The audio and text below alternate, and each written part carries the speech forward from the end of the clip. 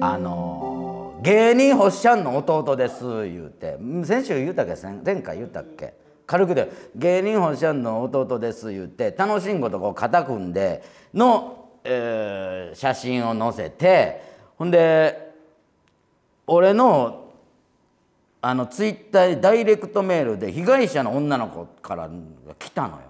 そのほっしゃんのあの弟さんのことであの弟さんにやっても連絡が返ってこないんであのお兄さんのほっしゃんに言う失礼をお許しくださいみたいな感じで。であのまあ女の子も悪いっちゃ悪いんだけどその体を許す代わりにお金がね払うって言うたお金をやり逃げされたといわゆる。お金払わんとずっとあの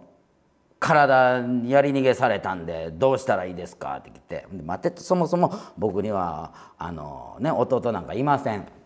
それに君がやってることはそれ犯罪行為にもなりますんでそのやめなさいっていうのをちゃんと返して。ほんで会社にもこれをマネージャーから報告したら会社にホームっていう弁護士さんのねおるとこあってホームからもそのそいつのほっしゃん弟っていうとこに連絡して「やめなさい。これは名誉毀損でもあるし虚偽やしこれは犯罪にもなりかねんからやめなさい」って言っても何にも返ってけえねんて。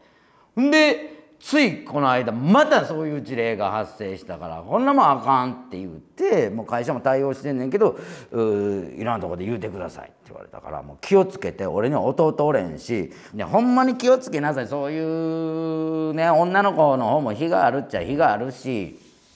でやっぱりそういうところに乗っかっていってねあのほっしゃんでさえね仲良くしてもそんな